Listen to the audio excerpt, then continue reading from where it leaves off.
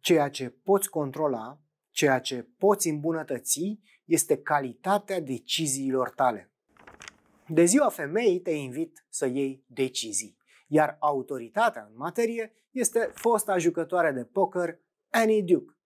Volumul ei, How to Decide, Simple Tools for Making Better Choices, îți spune în ce fel transformă informația o decizie grea într-una ușoară, dar și ce rol important joacă valorile pe care le ai în corectitudinea unei alegeri pe care o faci. Un instrument valabil are un tip de utilizare pe care îl poți repeta cu încredere.